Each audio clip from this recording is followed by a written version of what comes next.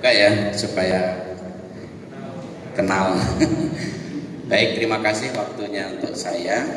Pertama saya mengucapkan selamat datang dan terima kasih kepada Ibu Bapak yang perwakilan dari lingkungan dari eh, tamu juga ada kiranya ini menjadi kesempatan yang bagus untuk kita berkumpul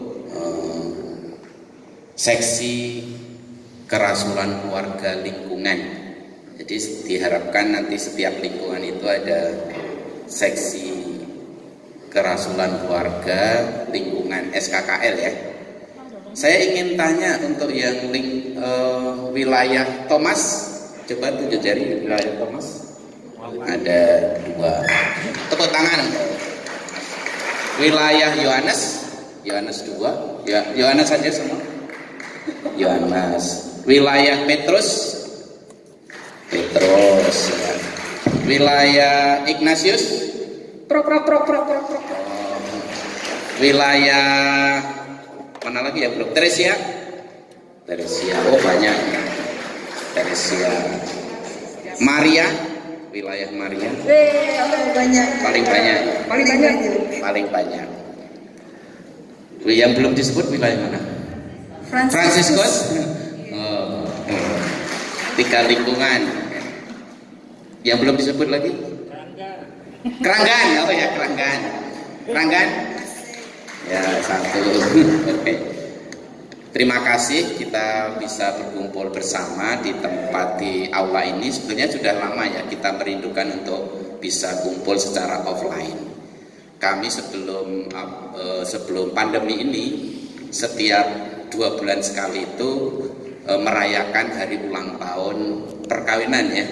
Itu setiap dua bulan sekali dan kita merayakan Ekaristi, kemudian dirayakan dengan rekoleksi.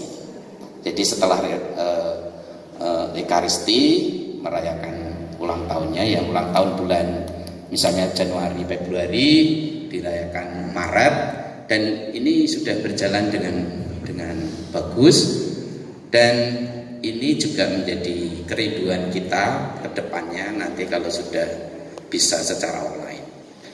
Lalu yang kedua kiranya baik kalau kita kembali lagi eh, ingat basis keluarga itu basis yang paling kecil di dalam gereja ya. Jadi e, keluarga itu adalah gereja mini, gereja kecil.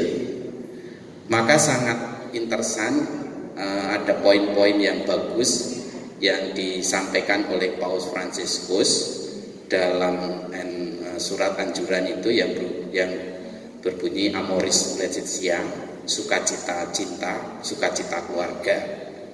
Jadi sukacita keluarga itu menjadi sukacita gereja.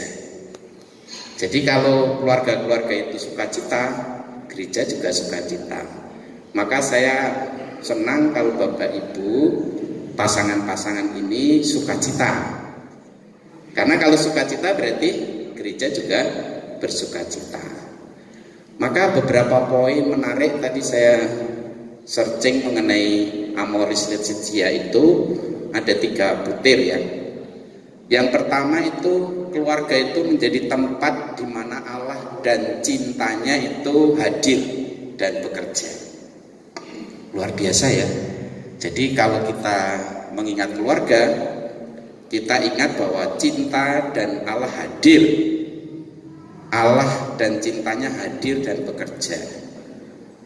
Maka kita diingatkan bahwa setiap keluarga itu menghadirkan Allah dan kasih. Itu yang pertama. Lalu yang kedua, keluarga perlu didampingi untuk tumbuh dalam cinta yang semakin dewasa dan memberi. Nah, lihat di situ ada eh, perlu pendampingan. Jadi mengingat berbagai persoalan, tantangan, pada saat-saat ini dewasa ini kita per keluarga-keluarga itu perlu pendampingan. Maka tadi istilah dari eh, Pak Sulis itu berjalan bersama. Jadi mendampingi itu ya berjalan bersama itu. Kalau kita ingat ketika dua murid Emmaus yang pulang ke kampung karena kecewa. Kemudian apa yang dilakukan? Mereka pulang ke kampung, mutung istilahnya. Lalu ketika perjalanan pulang ke Emmaus itu didampingi oleh siapa? Yesus. Mulanya tidak tahu, tidak tahu bahwa itu adalah Yesus. Tetapi kemudian tahu. Dia berjalan bersama. Jadi kita sebagai keluarga yang sudah punya sukacita, yang mengalami sukacita itu perlu mendampingi, menemani. Lalu yang ketiga itu keluarga dalam kesulitan itu perlu dibantu. Jadi keluarga dalam kesulitan, tantangan perlu dibantu dalam cinta dan belas kasih. Nah tiga poin ini menarik untuk bisa diwujudkan dalam konteks nanti bagaimana mendampingi keluarga dan bersama keluarga. Nah kami, saya pernah bicara bincang-bincang dengan seksi SKK Bagaimana pendampingan keluarga itu sejak awal Tidak menunggu setelah 25 tahun gitu ya. Jadi misalnya umur eh, 1 sampai 5 tahun itu ada pendampingan 5 sampai eh, 6 sampai 10 tahun juga ada berkelanjutan ber, bertahap gitu. Mengapa ini penting? Kerap kali permasalahan keluarga itu muncul sedikit demi sedikit. Ketika permasalahan itu tidak dituntaskan, tidak di, dicarikan solusinya, lalu menumpuk, menumpuk, menumpuk, akhirnya pecah, akhirnya akhirnya bubar. Nah, ini kan sayang. Padahal panggilan keluar, berkeluarga itu adalah panggilan yang luar biasa. Panggilan untuk menjadi satu. Jadi kalau saya khotbah manten pemilih itu tugas utama suami istri itu apa? Tugas utama suami istri itu apa? Yang paling utama. Tugasnya sederhana, yaitu menjadi satu. Menjadi apa? Menjadi satu, bukan menjadi dua atau tiga atau empat atau lima, bukan.